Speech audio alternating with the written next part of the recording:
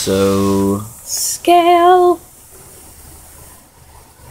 we found this on our thing this morning. Hand for scale. Hand for scale. Also, it's not a thing, it's a pillar. yes.